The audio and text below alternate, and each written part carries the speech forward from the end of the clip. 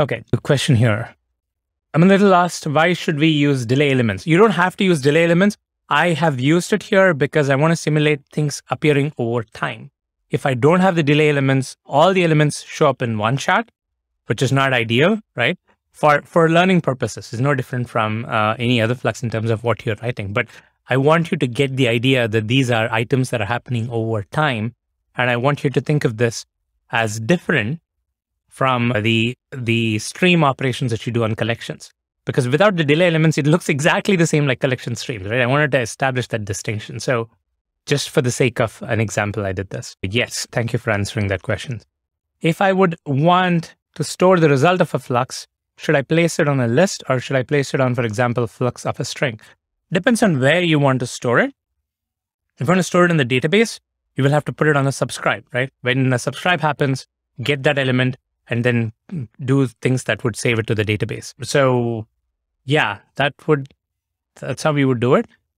If you really need to block, then you just use the block to get there. But I don't think, I don't think it's necessary to block most of the times. You would just call it on the subscribe so that you're not blocking it. You're just doing the right thing whenever the thing that you need is ready. Okay. So speaking of, I had this one item here, which was, which we said we're going to get back to when we learned about operators. I want to get back to that thing now. Okay, which is this one. Okay. I said, get the value from an unresponsive flux into a string list, but give up after five seconds. Okay. How do you do this?